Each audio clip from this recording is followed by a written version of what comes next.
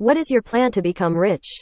Everyone wants to be the next Elon Musk or Steve Jobs but have no plan on how they are going to get there. If you don't mind, can you tell us about your plan? How much you currently make? Why you think your plan will work? How long do you think it will take for you to be financially free? Keep in mind that the billionaire entrepreneurs represent a very tiny portion of all the entrepreneurs out there. Look up the average salary of an entrepreneur in the US. You may be surprised. Is it $50,000? Everyone wants to be the next Elon or Steve. Going to have to disagree with ya, bud. Older you get, the more you realize what rich means. Yep, value time way more than money. Love living the semi-retired young anonymous life.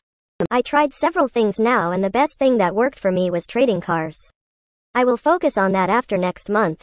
I feel like simply buying and selling stuff in general is one of the easier ways to make money. How does that work during an economic downtime? Most people clamp up for the harder times that are coming.